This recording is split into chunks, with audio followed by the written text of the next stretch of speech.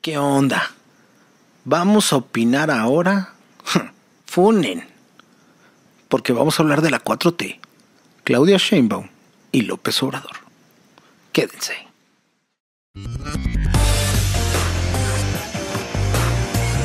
Esto es Ecléctico Radio.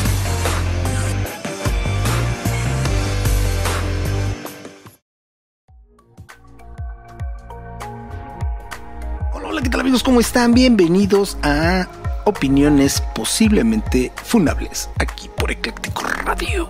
A ver, ¿de qué vamos a hablar en este video, en este audio? Pues muy sencillo. Ahora nos toca hablar de la 4T, Claudia Sheinbaum y Andrés Manuel López Obrador. Y como lo dije en el video anterior, pues sí van a ser opiniones que posiblemente a la gente no le gusten, pero bueno, son opiniones al final de cuentas. Cada quien las toma como quiere, ¿vale? A ver, López Obrador ganó en el 2018 con una base de 15 millones y otros 15 que votaron por él, unos 30 millones. Claudia Sheinbaum ganó con una base de 15 millones y votaron otros 20 por ella y son 35 millones. Y la verdad estos, este gobierno de López Obrador ha sido un desastre, pero ha sido un desastre a propósito. Ha sido un desastre a propósito, ¿por qué? Porque está preparando lo que realmente quieren que suceda. Muchos seguidores de AMLO eh, empezaron a decir, no, ya ven cómo no nos llevó y no somos Venezuela y no somos, este, no estamos en, en esta situación. Y, los, dere, los derefachos, este, se dijeron que íbamos a estar como Venezuela y vean y que íbamos a estar fregados. No, no, no, no, no, no, no, no, no.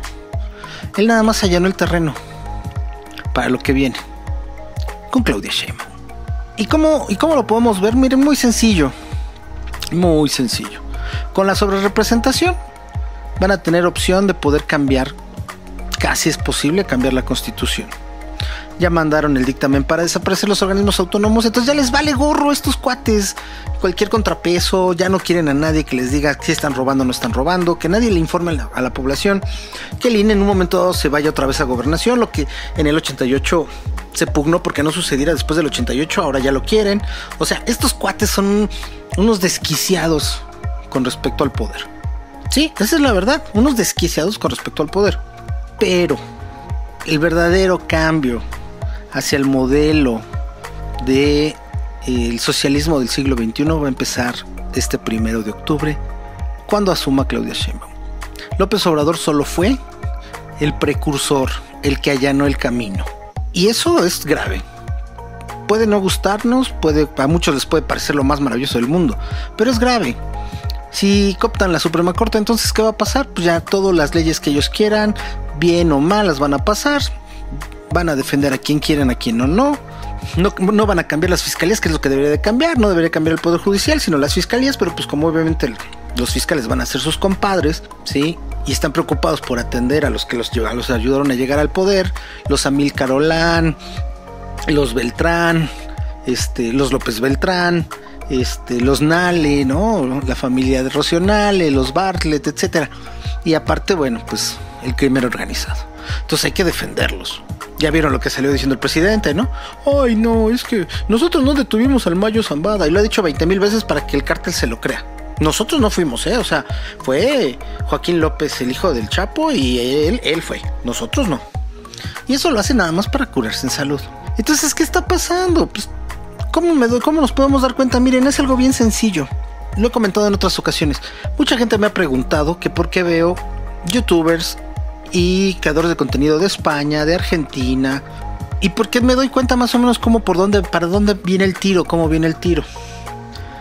¿Sí? Y todo este wokismo o progresismo, cómo lo, van, cómo lo van a ir implementando junto con este socialismo del siglo XXI, este Foro de Sao Paulo, Grupo de Puebla o como le quieran llamar ustedes.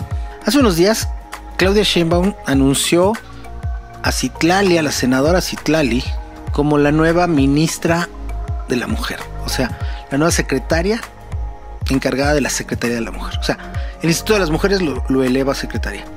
Y vamos a tener en México a una Irene Montero de España, que de hecho vino Irene Montero a decirle a Claudia Sheinbaum qué hacer con este ministerio y puso a una señora totalmente impresentable, como Citlali, a ser la ministra de la Secretaría de la, Secretaría de la Mujer. Y al rato le cambiarán a Secretaría de la Mujer, diversidades, géneros, etcétera, etcétera, etcétera. Y va a ser un despilfarradero de dinero. Y van a hacer lo mismo que está sucediendo, que sucedía en España, que sucede en España y que sucedía en Argentina hasta antes de la llegada de mi ley. Vamos a ver charlas de, de género. Vamos a ver educación sexual integral. Vamos a ver bailes de twerking o conferencias de twerking. Vamos a ver este la propuesta de los cartelitos feministas. Vamos, o sea, va a haber una de negocios, mini negocios para ciertos grupos de mujeres que la apoyan. Y lo único que vamos a ver en realidad también es el aumento, desgraciadamente, de los feminicidios, de la violencia. ¿Por qué? Porque este ministerio, o esta, este, en este caso en México, esta Secretaría de la Mujer, no se va a encargar de los problemas. ellos van a maquillar todo como, como pasa en España y como pasa en, en Argentina o como pasaba en Argentina. Y entonces ahí van a decir, ay no, miren, estamos trabajando. Sí, se gastaron 25, 30, 40, 50, 100, 150 millones de pesos. Y estamos viendo también lo del socialismo del siglo XXI que tanto defienden, pues como lo que está pasando en Venezuela.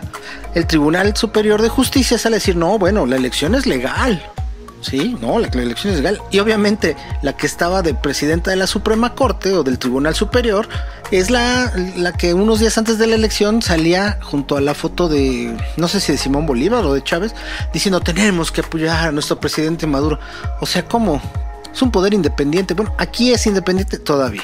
Ahora, si pasa la sobrerepresentación, estarán a dos votos del Senado para poder lograr los cambios. Ojalá, y lo digo en serio, ojalá la oposición y estos todos en la oposición digan, nos vamos a montar y no pasan las reformas. Ojalá. Con dos que se vendan, valió chetos. Nos van a llevar a ese mood, a regresar al INE, a gobernación para que se sigan robando elecciones, a, desaparecer al INAI, a la Comisión de Telecomunicación, al Instituto Federal de Telecomunicaciones y a todos estos organismos autónomos que daban ciertos límites. Y eso, nos guste o no, es lo que pasó en Venezuela, lo que estaba pasando en Argentina, lo que pasa en Cuba. El poder en una sola persona. No nos sorprenda que en seis años quieran reelegir a Claudia Sheinbaum. El problema es de que una vez que eso pase y que tengan el control y nadie está tomando en cuenta y casi no lo he escuchado con ninguno de los analistas es le van a quitar la autonomía al Banco de México. Y entonces ahí vamos a estar bien jodidos. ¿Por qué vamos a estar bien jodidos? Porque van a empezar a imprimir dinero a lo loco. Y nos van a llevar a inflaciones, nos van a llevar a problemas económicos graves, porque no les va a alcanzar el dinero. Entonces le van a quitar la autonomía al Banco de México. ¿Para qué? Para imprimir dinero. Y cuando empiezan a imprimir dinero, muchos van a decir, ay, mira, ya hay más dinero en circulación, sí. ¿Saben lo que causa de inflación? Y a la gente no le interesa, y lo dije en el audio pasado, a la gente no le interesan los datos, ¿no? le interesa tener dinero, porque cree que esa es la solución a sus problemas. Sí, el dinero ayuda, y ayuda bastante, pero no es la solución a todos los problemas. Entonces, ¿qué va a pasar? Se van nos vamos a endeudar más y van a imprimir dinero. Y entonces van a venir inflaciones y más inflación y más inflación. Este camino ya México lo recorrió. Gente muy joven se le olvida. A mí, yo, es más, a mí no me tocó, me tocó, vamos a decir, el, final. Yo nací en el 78. Por ahí del 82, cuando se le fue López Portillo, todavía del 82 al 88, con este Miguel de la Madrid, hasta que llegó Salinas y le dio el cambio de timón, para bien o para mal. Pero la inflación, las devaluaciones, o sea, en serio, la gente no se da cuenta, muchos analistas no lo han dicho. Hablan de que estamos endeudados y que no, no, no, el problema es cuando le quiten la autonomía al Banco de México, en cuestión económica. Y que vamos a ver un montón de gente que se va a hacer ultra mega millonaria, que está llegada a López Obrador y a Claudio Sheinbaum. ¿Esto puede cambiar? Lo dudo. Claudia Sheinbaum se puede deshacer de López Obrador aunque haya dicho que no. Sí, sí, lo va a hacer, posiblemente en unos dos años, antes de que se hable de la revocación de mandato, o poquito después de que pase el periodo de revocación de mandato. Se lo va a quitar de encima, porque eso va a pasar. Y no nos sorprenda que los manden a las a Cuba o a las Fiji, o a Filipinas, o a Timbuktu, como embajador por las buenas, y entonces ella se haga del control. Porque también una de las cosas que quiere cambiar es que ya no haya reelección.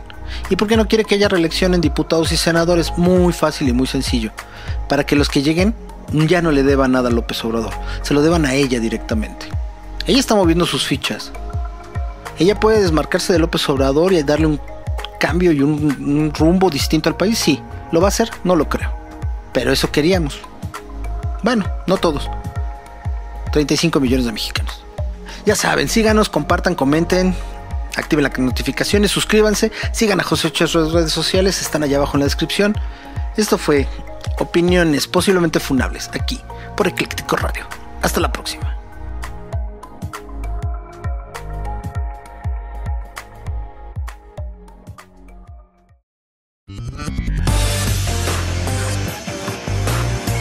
Esto fue Ecléctico Radio. Muchas gracias por escucharnos.